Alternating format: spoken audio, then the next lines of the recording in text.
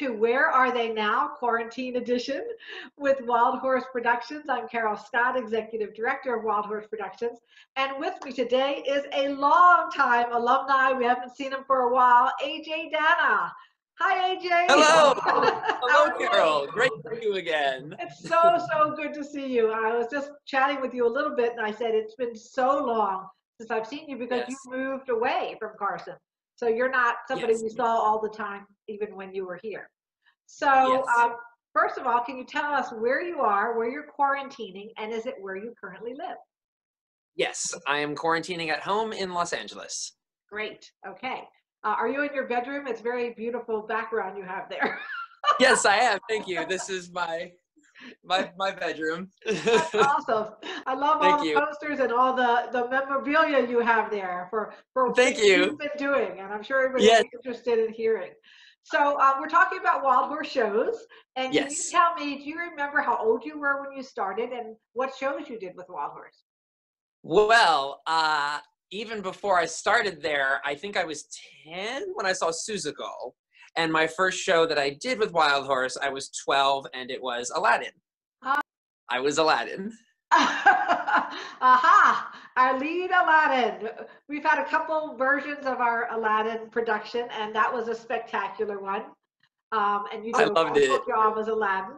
You haven't Thank reprised you. that role, have you? I have not. I would love to. and um, you've had other memorable roles with us. Do you remember what they were? Yes, I played the caterpillar in Alice in Wonderland. I was the wolf and the lumberjack and a whole bunch of other crazy things in Nick Tickle Fairy Tale Detective, and I was Greylag in Honk.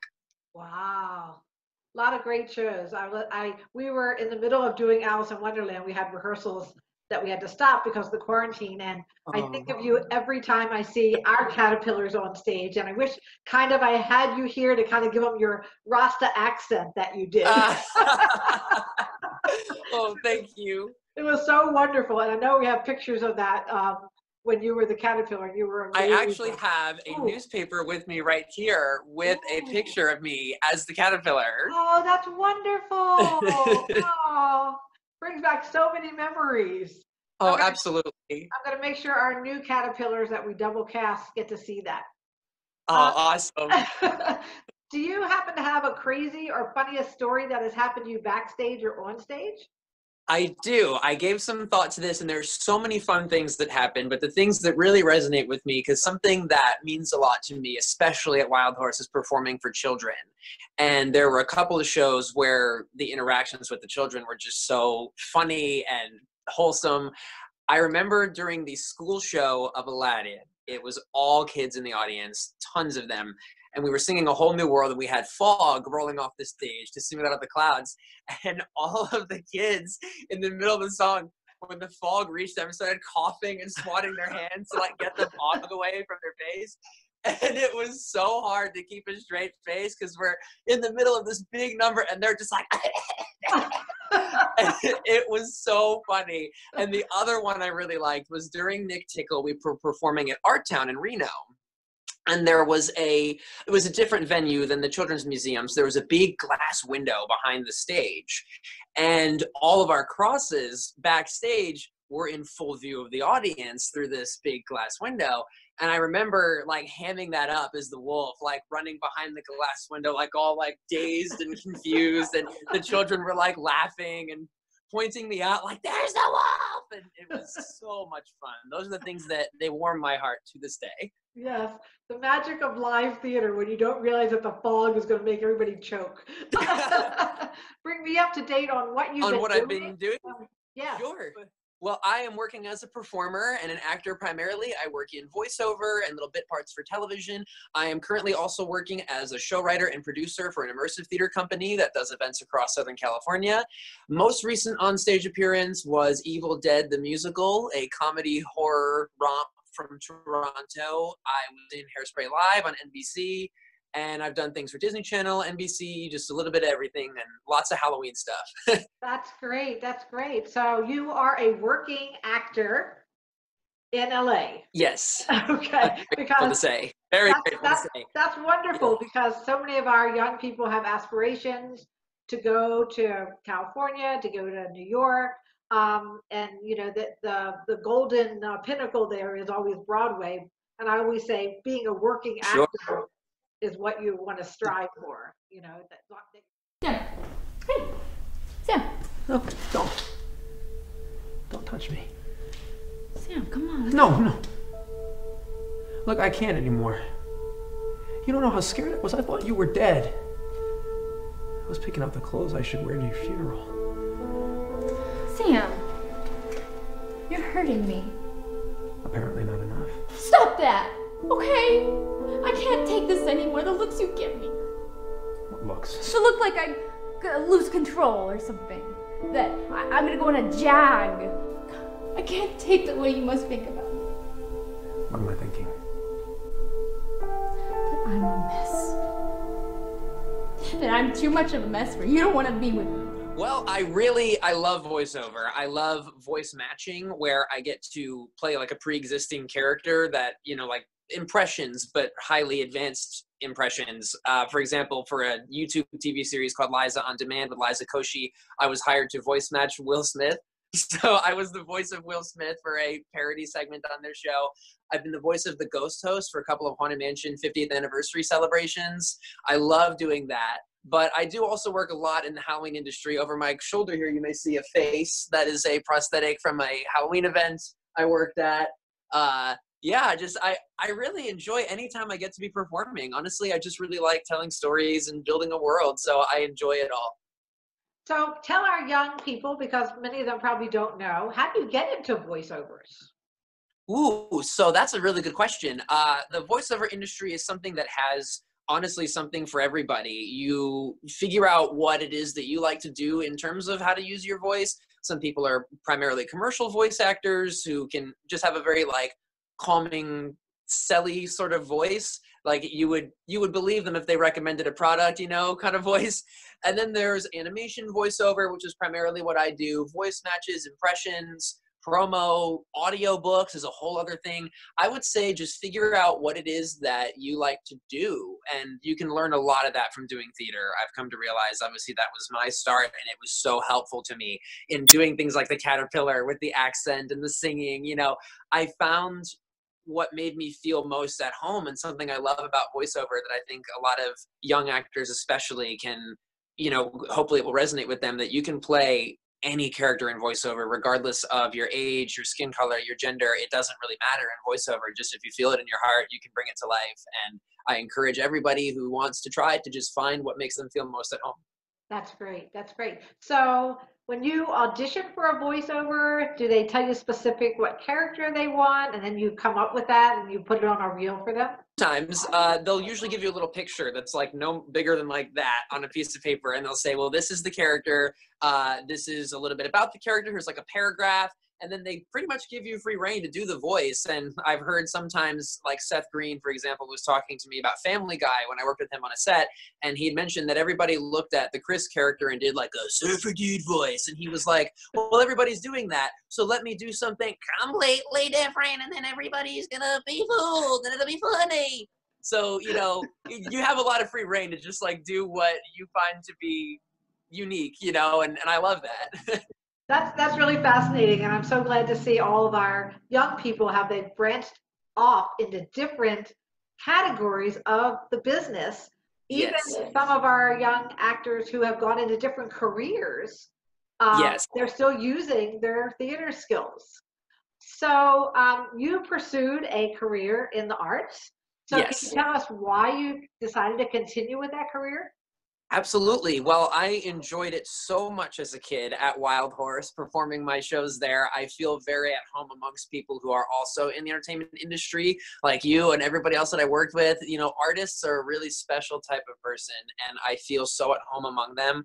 And for me, you know, entertainment is a lot more than just a career. I, I find it to be a really big part of my life. I want to give back because when I was a kid, I was influenced by things on TV or in theme parks or in theater that really shaped me into who I am. You know, there's there's a lot you can learn from what you see on television or in theater and because of the really amazing wholesome family content or good halloween stuff or you name it as a kid that i had I just really want to give back and you know help the next generation have similar experiences, and that's why I, am so happy you asked me here today, especially because we're talking to the next generation. That's what I love doing. Right, and and I and I love talking to our alumni because I'm getting so much from them of what they learned when they were with us and and where you've gone, and it's just so nice to be able to catch up do you have a dream role that you would like to do that you haven't done yet? I do. Uh, so, in theater specifically, one of my favorite musicals, and it's actually over my shoulder at this very moment, some playbills. I love Fun Home, the musical based oh. on the cartoonist Alison Bechdel's life. I love it. The role of Bruce Bechdel, her father, is absolutely my dream role in theater. There is an incredibly meaty part for a male actor. I love it. It's it is like it's everything you could want in a drama role. It's like Shakespeare heightened, and it's a really great musical in general. But other shows I would love to be involved in in any capacity is Bill and Ted's Excellent Musical Adventure. I love Bill and Ted. Mamma Mia, I love Mamma Mia. I will do any part in Mamma Mia. I will play Donna if they let me. and, and I also really want to be in Rocky Horror Show. So a little bit of everything. uh, that's so funny because um, I've been talking to other actors and Rocky Horror comes up a lot. Does and, it? And you remember Heather Canfield? She just played the lead in um, Mamma Mia. Yes. WNC. I was watching the alumni videos and she looked so good as Sophie. Her voice was perfect for that role. I totally wish I could have seen that. It's so cool to see everybody that I used to work with like going on and achieving things and Braden in Alaska still doing art and oh my goodness and Peyton and he went to New York and Heather's a teacher. It's so awesome. I just yeah. I love it. It is. It is and everybody's been really excited about you know meeting up with everybody again and and connecting, which is really Absolutely. Really nice. So yeah. I kind of put everybody on the spot and I asked if you would like to share one of your talents with us. So Sure. Give it a go. I am going to be doing the voice of Captain Hook from the Disney Peter Pan movie. Was that Peter Pan? And now, my dear, you must remember there is no path through water to the happy hunting ground. This is your last chance, Tiger Lily. thank you. What a transformation. Uh, thank you. That's one of my favorite shows, too. I love Peter Pan. So much fun. yeah. So, any advice you would give our upcoming rising stars that may have aspirations to do what you're doing, uh, doing theater now, and are young and looking towards the future and their dreams? I mentioned is don't only see or audition for shows that you're already familiar with. As great as it is to work on things like Aladdin or Alice in Wonderland, I've also come to find that there's a lot of shows that we may not be inherently familiar with that have so much to offer as well. When I was a kid, I was in the pajama game and I was not, oh, I didn't know about the pajama game. And I remember I was like nine or 10, I turned my nose down, like, oh, I'm not gonna, I don't know what that is. It's not hairspray, you know. It's and I am glad I went out for it anyways because it became one of my favorite musicals. So don't.